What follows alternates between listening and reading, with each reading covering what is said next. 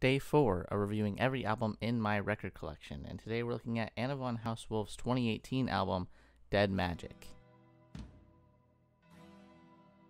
For those who like dark, disturbing, and brooding music with a blend of horror, look no further than this neoclassical dark wave Dead Magic, an album that feels like an old age ghost story told through organs and long, powerful vocal passages. At only five tracks, this album is packed with lengthy songs, such as the opening track the Truth, The Glow, The Fall, which runs about 12 minutes, and the third track, Ugly and Vengeful, which runs about 16 minutes. The opening track, like the title suggests, splits itself into three segments that feel like a continually flowing three track epic that only gets more grand in scale with its complex organ playing by Anna as her voice strains about a disturbing tale, eventually reaching a much more ethereal end. The Marble Eye bridges the gap between the horrific third track, Ugly and Vengeful, and the final ethereal track, through masterful organ instrumental. But perhaps the biggest standout track here is the second track, The Mysterious Vanishing of Electra.